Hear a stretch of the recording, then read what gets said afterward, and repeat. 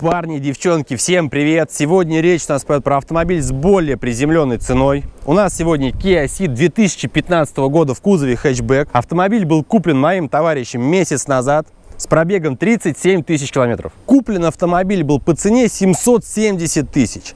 Вот сейчас, если зайти на Автору, данная модель, это дорестайлинговая версия, ее можно найти 2015 года в нормальном состоянии от 750 до 850 тысяч рублей. Да, есть цены пониже, но это, скорее всего, будет разочарование, какие-то скрытые дефекты. И также есть цены, конечно же, выше, чем 850 тысяч, но это уже будут топовые модели с ценой аж под миллион. Но прежде чем мы начнем наш обзор, я хочу провести некий социальный опрос. Вот напишите, пожалуйста, в комментариях ваше мнение касаемо непосредственно марки Kia. Вот что у вас в голове про нее сидит?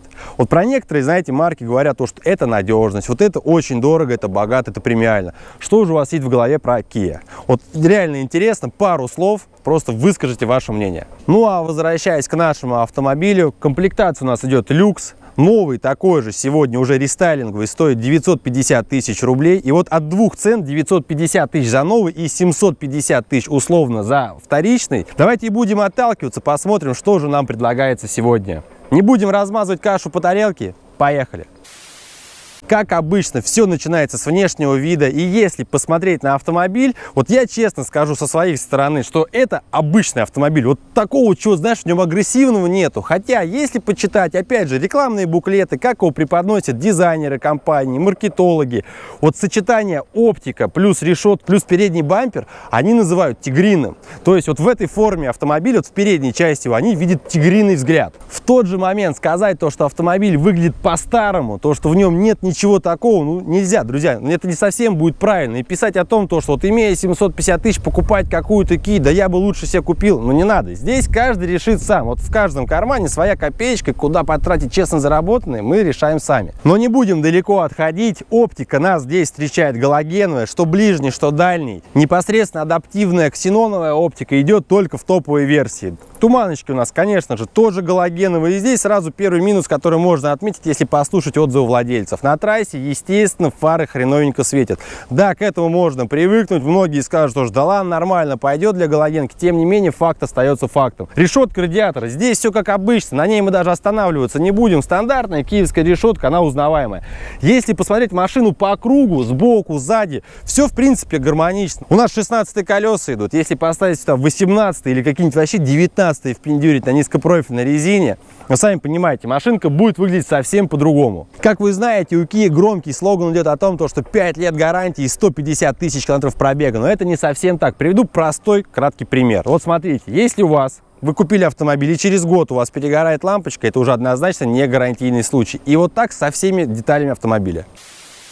А под капотом нас может встретить линейка из трех двигателей. Первое, это идет 1.4, 100 лошадиных сил, только с механикой. Очень дохлый двигатель, разгон до первой сотни, там заявленный только порядка 13 секунд. Второй же двигатель идет 1.6, он есть как на механике, так и с автоматом, как в нашем случае, шестиступенчатый автомат. 123 лошадиные силы, заявленный разгон до первой сотни 11,5 секунд. Вот с этим автомобилем и конкретно с этим двигателем я знаком не понаслышке. У моего друга был точно такой же автомобиль, только в кузове универсал. Мы на нем накатались года 4, поэтому про него я рассказать могу более подробно. И также можно найти более заряженную версию. Будет также 1.6 двигатель с турбиной 204 лошадиные силы, только на механике. Разгон до первой соточки будет 7,7 секунд. И вот глядя в подкапотное пространство, мы всегда с вами задаемся одним вопросом. Что нас здесь страшного может встретить? Вот что здесь может такого сломаться, чтобы это был неприятный и самое главное дорогостоящий ремонт? А я вам скажу, в принципе, ничего.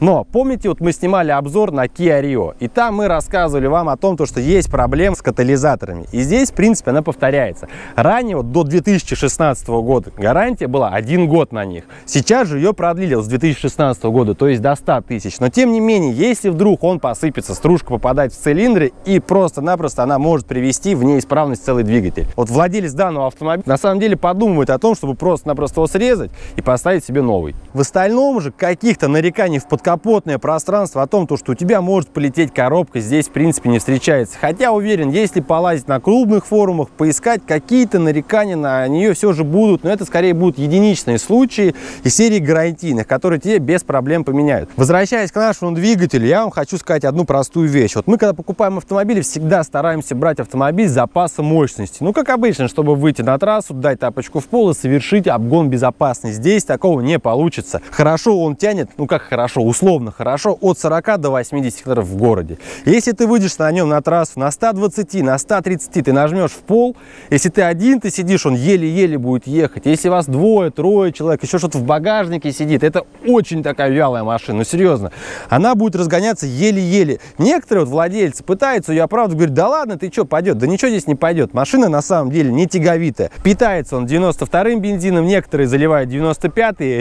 Реальный расход вот у этого владельца в городе порядка 8 литров, по трассе он делает около 7 литров. Тем не менее, можно найти и тех владельцев, кто заявляет о том, что расход 10-11 литров. Но я больше считаю то, что это, наверное, какие-то условия типа постоянная пробка, большой город, кондиционер, газ пол, тормоз, ну и так далее. И вот, как я сказал, то, что серьезных проблем с автомобилем в принципе встретить нельзя, но тем не менее косяков у него очень даже много. Вот если послушать людей, некоторые отмечают то, что здесь стандартная болячка, это датчики АБС, меняют по гарантии. Другие отмечают то, что есть проблемы со втулками стабилизаторов.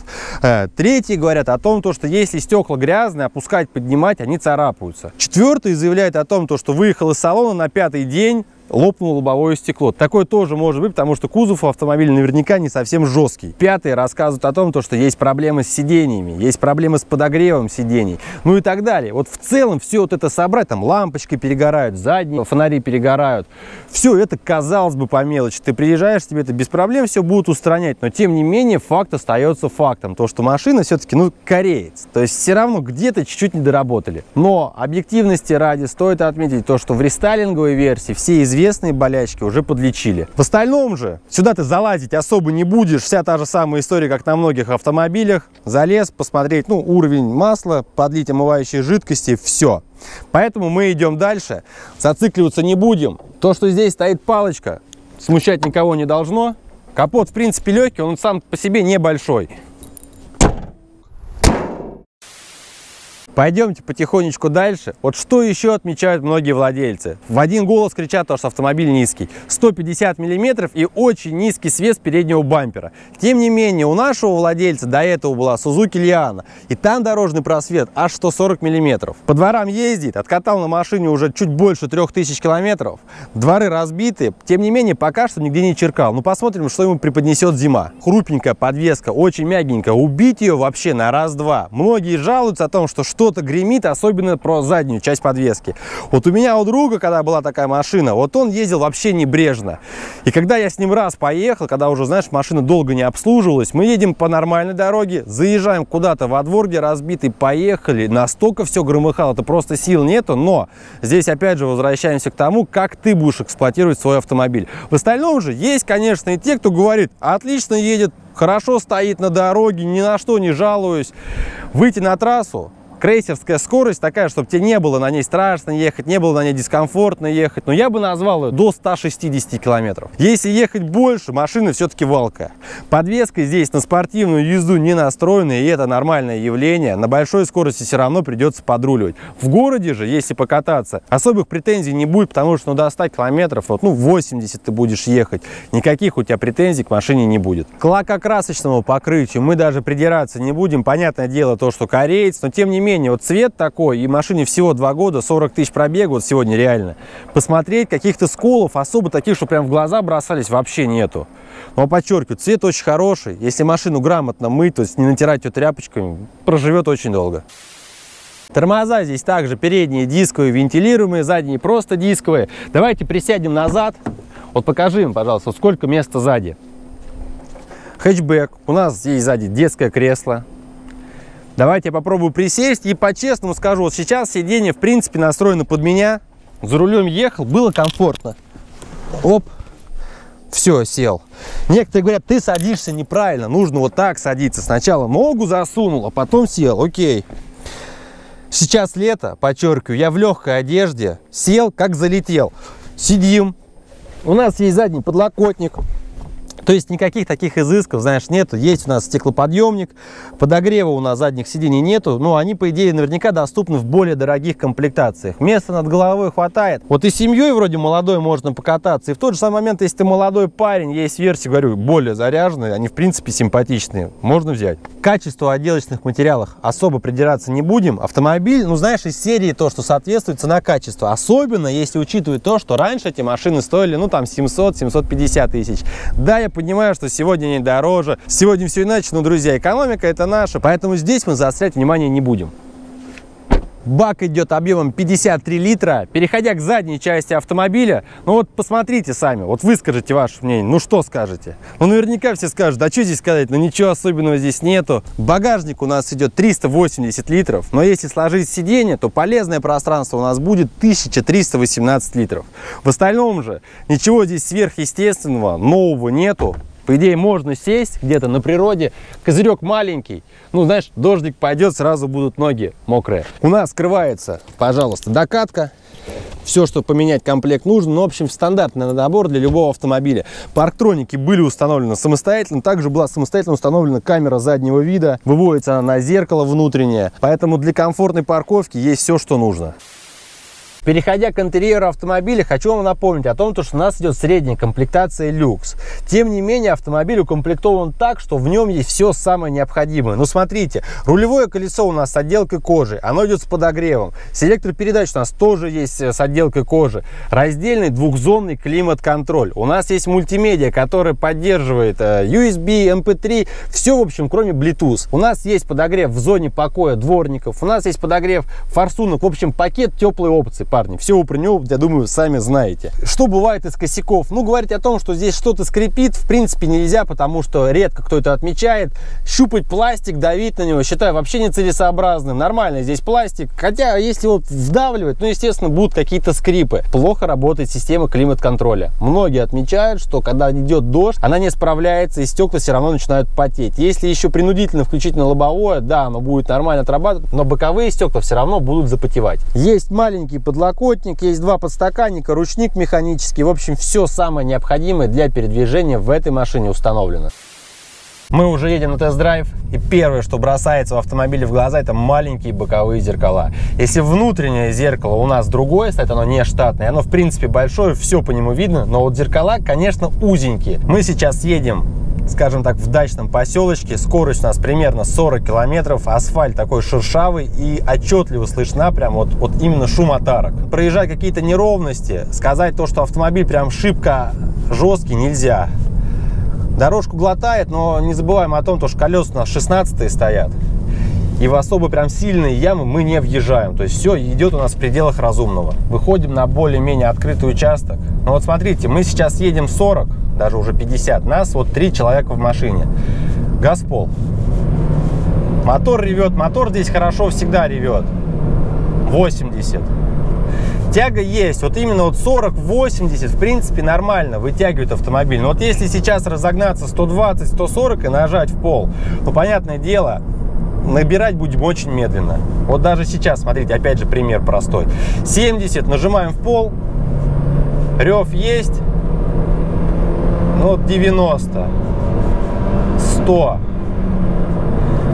Шум стоит в автомобиле, но в пределах разумного. Конечно, кто-то скажет, что это очень шумная машина, ну, смотря с чем сравнивать. За свои деньги, подчеркиваю, Зашумить можно. Самому можно зашумить дополнительно. Многих вот из нас всегда смущает этот вот Kia. Кореец, Kia, да нафиг это надо. Все почему-то хотят чего-то покруче. А вот до кому вот вы что доказываете? Ну вот купил бы ты, например, а, японца или купил бы ты немца, там, более старших лет. Но это будет машину покруче. Ну а для кого она покруче будет? Для твоего соседа или для кого? Вот самое главное, я считаю, всегда относиться ко всему с головой. Если у тебя прямые руки, у тебя есть гараж, конечно, ты можешь себе взять там какую-нибудь бэшку, кулупаться с ней самостоятельно, если ты это умеешь делать. Но вот так вот для повседневной жизни, чтобы не заморачиваться, чтобы она не сосала из тебя денег, вполне адекватный вариант. Я не рекламирую ее, я не говорю тебе, вот купите Kia, Просто вот посмотрите на автомобиль, рассмотрите его вот с точки зрения альтернативы, что можно купить вот сегодня за 750 тысяч рублей.